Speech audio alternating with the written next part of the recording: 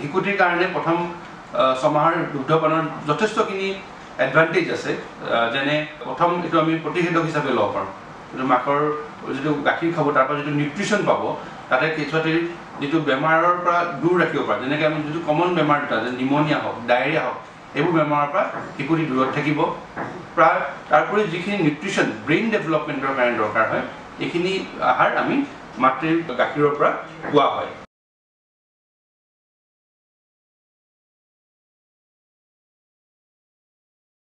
প্ৰথম ছমাহত মাকৰ গাখীৰৰ বাহিৰে অন্য একো বস্তু যেনেকৈ পানী হওক মৌ হওক এনেকুৱা ধৰণৰ বস্তু শিশুটিক কেতিয়াও দিব নালাগে। আৰু যেনেকৈ বাহিৰৰ গাখীৰক যিমান পাৰোঁ আমি ৰিলাব পৰা দূৰত ৰাখিব লাগে শিশুটিক। আৰু প্ৰথম ছমাহত মাকে যিমান পাৰে প্ৰথম তিনি মাহত স্পেচিয়েলি প্ৰত্যেক দুঘণ্টা বা তিনি ঘণ্টাৰ মূৰে শিশুটিক ব্ৰেষ্ট ফিডিং কৰাব লাগে। আৰু এবাৰতে ফিডিং কৰাওঁতে সদায় আধা ঘণ্টামানলৈকে এটা ফিডিং এটা ব্ৰেষ্টৰ পৰা চেষ্টা কৰিব লাগে।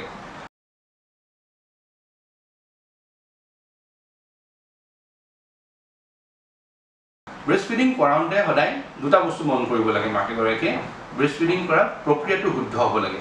কেঁচুৱাটোৱে যাতে মাকৰ ব্ৰেষ্টত এতিয়া মুখখন দিব মুখখন ভালকৈ মেল খাই থাকিব লাগে। মাকৰ নিপুলৰ কাষৰ যিখিনি কলা অংশ গোটেইখিনি যদি শিশুটিৰ মুখত সোমায়। আৰু কেঁচুৱাতে যেতিয়া ফিডিং কৰে আমি যেতিয়া চাওঁ কেঁচুৱাতে এটা ৰিদমত খায়। কেঁচুৱাতে প্ৰথমতে চাক কৰিব কেঁচুৱাতে মুখত গাখীৰটো জমা কৰিব কেঁচুৱাতে উশাহ ল'ব কেঁচুৱাতে ৰখি ৰখি ফিডিং কৰে। আৰু কেঁচুৱাটোক এনেকৈ আমি জগাই জগাই জগাই জগাই আধা ঘণ্টা গাখীৰ খুৱাবলৈ চেষ্টা কৰিব লাগে।